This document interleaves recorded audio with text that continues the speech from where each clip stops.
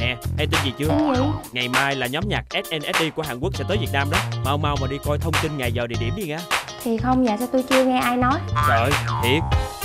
Lên mạng coi đi. Sáng nay mới mở mắt ra mà tin tức quá trời luôn nè. Bạn hay nói xạo tôi lắm á Nói xạo. Trời ơi, lần này thiệt mà. Sao lâu quá vậy? Sao mạng bị gì kỳ vậy? Máy của Long lót phà phà luôn nè. Anh xài mạng gì Mobifone 3G đó Cập nhật trong nháy mắt luôn. Dạ, Chỉ cho Vân Anh cài gói đó đi. Ờ, vậy thì bạn data khoảng cách on gửi 999 Ừ. để đăng ký mạng 3G Ừ. Sau đó soạn cài đặt khoảng cách data gửi 999 để đăng ký cấu hình cho điện thoại di động. Ok nhớ là phải khởi động lại máy rồi mới tiếp tục nha. Biết rồi.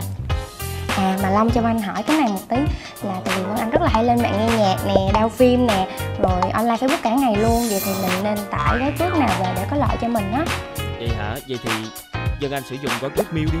Gói cước mail là gói cước gì? gói cước miêu là gói cước không giới hạn sử dụng. Hả? Không giới hạn? Ờ. Có nghĩa là mình có thể đao tất cả các bài nhạc mình thích về. Tất cả luôn. Chỉ cho Vân Anh cài cái đó đi.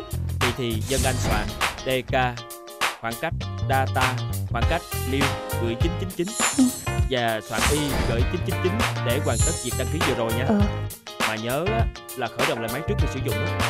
Ừ. Được rồi nè Ừ. Có tin mới luôn nè Ờ.